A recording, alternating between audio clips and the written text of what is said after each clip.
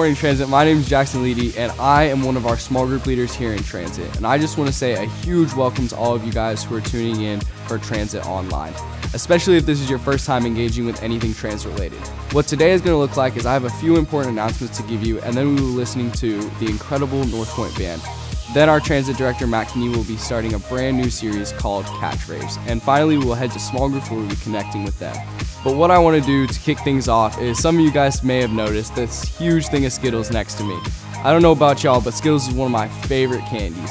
And the problem with not going anywhere during this break is to eat all of these. Before I do, I want to see how good you guys are at guessing. So what we want to do is for the next minute, you're going to utilize, the chat bar and comment your guesses on how many Skittles are in this jar. For a minute, then our Northpoint page will give us the answer at the end of 60 seconds. And then we'll I'll come back up and have some more announcements for y'all. Are y'all ready? All right, three, two, one.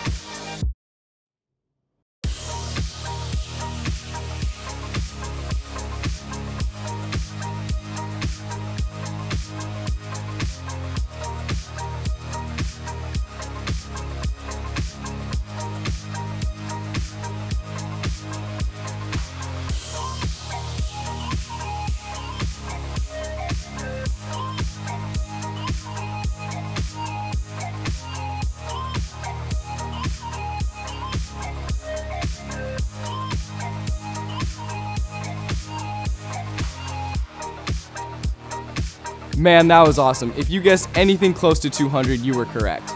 Don't worry if you weren't close, we will for sure be doing more of these in our future. Before we hear our incredible band, I have some important announcements for you. First, if you're not already following us on Instagram at transit uh, underscore NP and turn on our post notifications, we will be doing so many things throughout our social media in the coming weeks. Even some things where you guys will have a chance to win free stuff. Second, what we want you, you, to do is to stay engaged through this YouTube channel this week. Every week at 9.30 and 11, a video will be uploaded and there will be the normal transit fun of games and giveaways like we did today and dive into messages as we always do in small groups. The third and final thing we want you guys to do is stay engaged with your small groups. Your small group leaders will be reaching out to you throughout this rake but one of the best things to do for each other is to check in on one another via personal text or whatever app y'all use as a group to communicate. What we're going to do next is we are going to turn it over to our incredible Northpoint band who will be leading us in a few songs, which is so cool because this would be different for any in-person transit. But it's incredibly cool, especially doing this virtually. The reason why we are spending time listening to this music is because we know right now life seems crazy and all over the place. And sometimes the best thing to do in these moments is to know and recognize the truth that we have a God that is always good and He is always moving in the good and the bad times. So we're going to turn it over to Jamie and Taylor, and then Matt will be starting our brand new series called Catchphrase.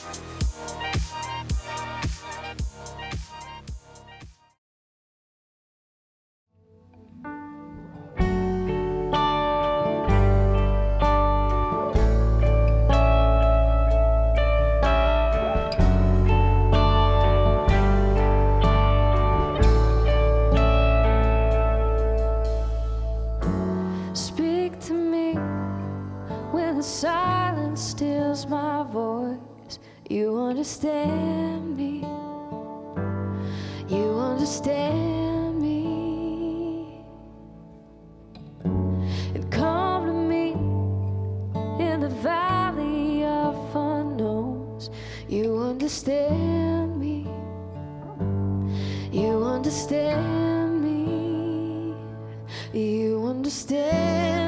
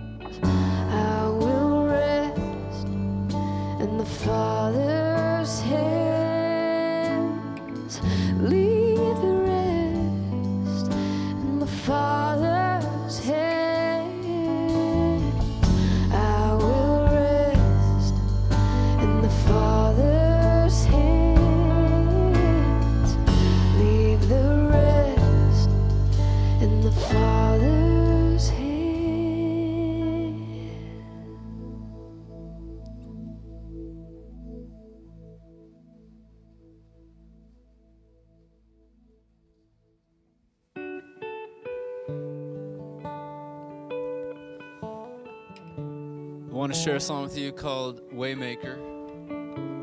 That God is our Waymaker.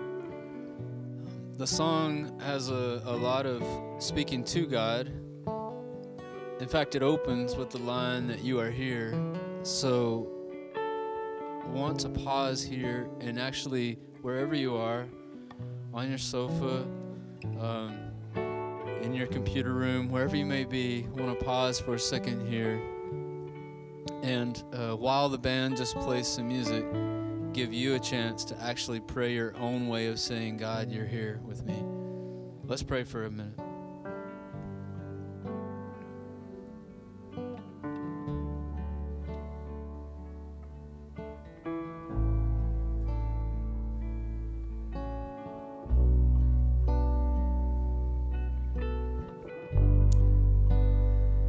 God, we know that you hear us from our heart. Pray to you. We ask you to meet us in this place. Speak to us.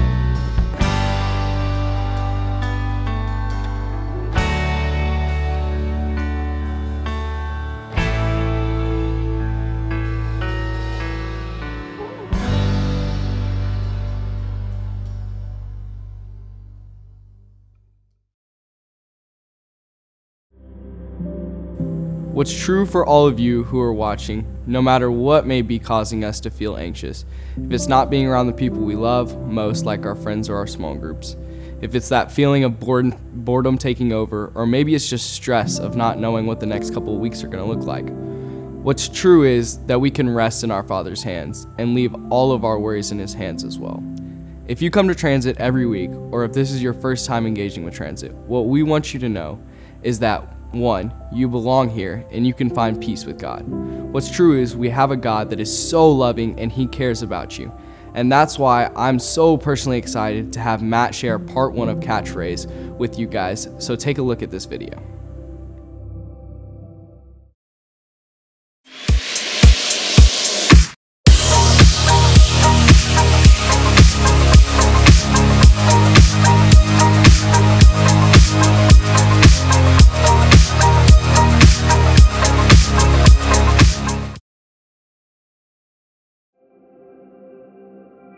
Have you guys ever played this game? If you haven't played Catchphrase, you guys are missing out. This is hands down one of the most competitive games that has ever been created. And honestly, this is a great quarantine activity to play with your family, even though games with families don't go great sometimes. Basically, how this game works is that you're in teams and you're describing a word or a phrase to your teammates and trying to get them to guess what that is without saying the word or phrase. It's so challenging, especially when you don't know the word or phrase. For example, I'm playing this game with my family a couple years ago, and the word Tokyo is on the screen. Now, I didn't pay much attention in social studies in school, but apparently Tokyo is a city in Japan, and I had no idea. I just froze, and the timer went off on me, and I lost the game for my team, and they were not happy about it at all.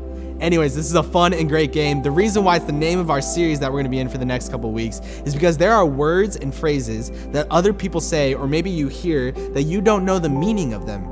For example, when you were a child, there were words and phrases that were said to you or around you that you hadn't learned yet. And I'm sure there's things that your parents say right now that don't make any sense to you at all. See, that's not only true with everyday life, but that could be true with our faith as well, or when it comes to Christianity itself.